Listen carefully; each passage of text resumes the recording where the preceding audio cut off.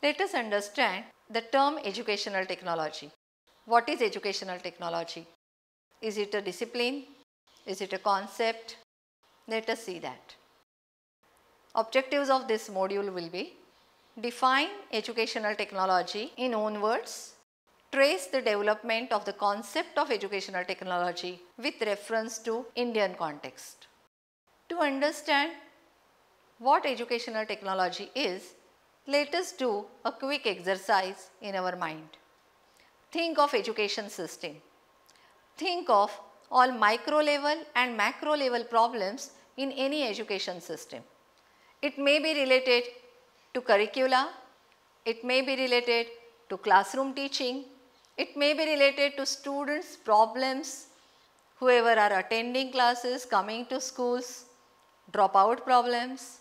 These may be problems related to actual teaching learning, problems related to evaluation, assessment. If you make a long list, you will take another 10 minutes. So just quickly think about such problems and let us see whether we can categorize such problems. Some problems are related to classroom situations, school systems which can be in a way solved by teachers. Some problems can be solved as policy level where some experts in the field of pedagogy can be involved. Some problems are social problems, maybe some socio-economic problems which cannot be directly solved by a teacher or by an expert in the field of education. So let us focus on some problems which can be solved by teachers themselves, which can be solved by some experts in the field of education. Solution of many of the problems can be changes in our own teaching learning, innovations in pedagogy. All such changes, all such innovations in the field of teaching learning and evaluation come under purview of educational technology. So what is educational technology? It has two terms involved, education and technology. So to understand what is educational technology, let us understand what is education. Let us go through some definitions of education. The process or act of educating, the result of educating as determined by the knowledge, skill or discipline of character acquired. Also the act or process of training by a prescribed or customary course of study or discipline. This is what brainymedia.com says. Let us see what Merriam-Webster online dictionary says. To provide schooling for, so to choose to educate their children at home and to train by formal instruction and supervised practice especially in a skill, trade or profession. So basically education involves imparting some training, education to develop some skills, attitudes, knowledge base. It is a formal phenomena. It may also mean to develop mentally, morally or aesthetically, spatially by instruction, to provide with information, to pursued or conditioned to feel, believe or act in a desired way. So, a nation may decide how my citizens should feel, believe, what kind of knowledge and information they should possess and education system may be evolved. Let us see what Swami Vivekananda says. Education is a manifestation of the perfection already in man. We want that education by which character is formed, strength of mind is increased, the intellect is expanded and by which one can stand on one's own feet. So basically characterization happens through education. We become independent by acquiring knowledge by expanding, developing our own intellectual powers, our inner strengths, our inner capabilities. The same thing is also highlighted by Mahatma Gandhi. He says, by education I mean an all-round drawing out of the best in the child and man, body, mind and spirit. Intellectual as well as spiritual development of a human being is considered significant in education. So, whichever formal training environment tries to bring out inner qualities of a person, develops skills, knowledge and attitude can be considered as education. What is technology? Think of a relation between science and technology. Sciences give us new discoveries and technology helps us implement those discoveries for the benefit of man, human being. So, technology is always used to implement on nature basically developed by human beings. Paul Saettler, a well-known historian of instructional technology, defines technology. Technology word is derived from Latin word texere which means weave or construct. Paul Saettler says that technology does not necessarily imply the use of machines as many seem to think, but refers to any practical art using scientific knowledge. So, technology may not necessarily be machines. It may be application of some scientific knowledge in any manner. Now, let us see what Jacques Ellul says about technology. The practical art is termed by a French sociologist Jacques Ellul as technique. He believes that it is the machine which is now entirely dependent upon technique and the machine represents only a small part of technique. Not only is the machine that results of a certain technique, but also its instructional applications are made possible by technique. So, technology is not only talking about machines, but talking about techniques of using those machines, techniques of making life more efficient and effective. In this context, if we talk about educational technology, realize that educational technology is not only technology, devices, machine used in the field of education, but techniques of teaching learning. These techniques are very important because even though you get vast technology, many devices available, if you do not have technique of teaching learning, if you do not have sound pedagogy, this technology will be a waste.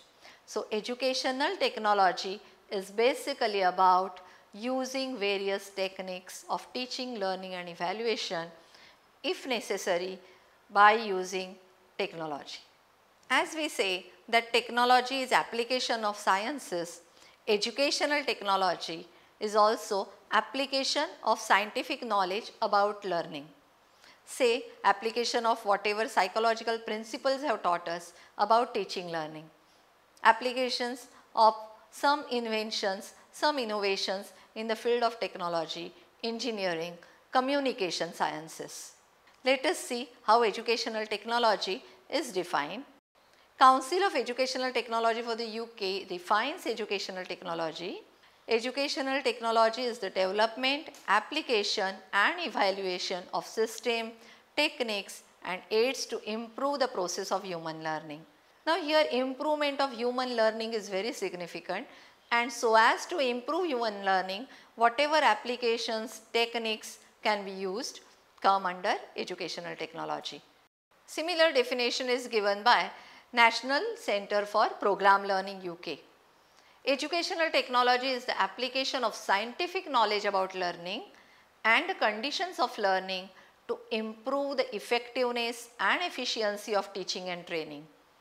In the absence of scientifically established principles, educational technology implements techniques of empirical testing to improve learning situations. Here two aspects are very important. Efficiency is related to time and money so, learning should be more efficient, it should happen in less time and without much cost, but it should be effective also. Whatever goals and objectives we plan to achieve should be achieved effectively. The methods, techniques, pedagogies, technologies, whatever help us to achieve objectives more effectively can be considered in educational technology. Though we say that in educational technology application of scientific principles occur it may not be always so. If there are no established scientific principles, then empirical testing is important. For example, a teacher can implement a particular innovative idea in her or his own class if she or he finds that this particular idea is very effective then her empirical testing may help in implementation of that particular technology. Pedagogical inventions happen like this. Association of Educational Communications and Technology Task Force says, educational technology is a complex integrated process involving people, procedures, ideas, devices and organizations for analyzing problems and devising, implementing, evaluating and managing solutions to those problems involved in all aspects of human learning. So, educational technology is a vast discipline. It is a moment. There may be educational technology organizations, associations working towards effectiveness of teaching learning. It talks about pedagogy, it talks about techniques, it talks about new ideas in the field of education. Let us see how development of educational technology has happened over a few years. First people started using gadgets. But remember that was the first generation of educational technology and today we have gone much beyond this concept of gadgets. When we were using gadgets and devices such as OHP, then television, radio, it was considered as educational technology. That was hardware. It was known also as hardware approach. ET2, its second generation of educational technology. Now, ET2 does not talk about hardware only, but it talks about various techniques how to use this hardware. So, this is known as software approach of educational technology. Emphasis on techniques of teaching and learning rather than only AV teaching aids is known as ET2 approach. So, slides, slide projector, OHP is not important. How you write on the slide is important. What you write on the slide is important. How much text should be there on each slide is important. How to develop self-learning material is significant than what to show or how to show. For example, if we use very expensive technological devices and if we are recording traditional lectures again, if those lectures are not effective then expenditure on huge technology devices is of no use. That is why ET2 is important. Percival and Ellington in their educational technology handbook said in 1988, educational technology involves a systematic scientific approach to a problem together with the application of appropriate scientific research both from hard sciences such as physics and electronics and from social science such as psychology and sociology. Contribution of social sciences is also significant in the field of educational technology. How to implement software approach? UNESCO has given steps of implementing educational technology in the field of education. It starts with learners characteristics and entry behavior. So first we need to analyze learners behavior. Accordingly, we set objectives, we plan our teaching learning process in light of these objectives and for the analyzed learners. Then we decide how to present our content. We plan for our evaluation and feedback. This approach is important when we plan to use even technology. During the third generation, experts realize that only hardware or software approach will not work. We need to evaluate or look at any system from systems approach. We need to have bird eyes view. Considering any problem not in isolation but studying the problem as a part of a huge system its systems approach. For example, if you are told that there is a failure in mathematics class of 8th standard you just cannot solve that problem by giving instant solution. You need to analyze the problem by studying all possible components about students characteristics, about teachers, about views and attitudes of teachers towards students and of students toward teachers.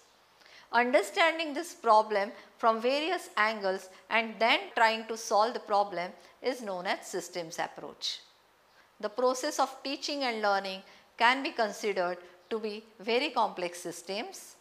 While designing an instructional system, we try to break this complex system into various components, subsystem and develop or strengthen their interrelationships so that the desirable output is reached effectively and efficiently. This is what a systems approach is. Once experts started using software approach and started analyzing educational setup through systems approach, experts realize that the situation where learners get involved in learning actively is always an effective learning. So, experts started working on interactivity. Self-learning material was developed during this period of time. Whether it is computer assisted instruction or whether it is paper based self-learning material, whether it is a classroom situation, interactivity became a significant aspect. Cooperative learning was considered as very significant aspect of teaching learning process. So, this interactivity phase is educational technology fourth generation phase. We were talking about interactivity in self-learning material, interactivity in computer based learning material or interactivity in the classroom situations. But how's about introducing this interactivity among those who are not connected to each other physically? Interactivity is important, communication is important, but if we use technology to connect to people, then that becomes advanced phase. This advancement can be considered as fifth generation of educational technology. So, ET5 is interconnectivity. All learners, all teachers across the globe can be connected. All interconnected learners can exchange ideas, can generate content themselves. Knowledge generation via various modes of communication by learners themselves is also significant today. So, interconnectivity is today's keyword and that is the fifth and last generation. Let us not forget that we are in fifth generation of educational technology today and let us work towards interconnectivity introduced in the field of teaching learning.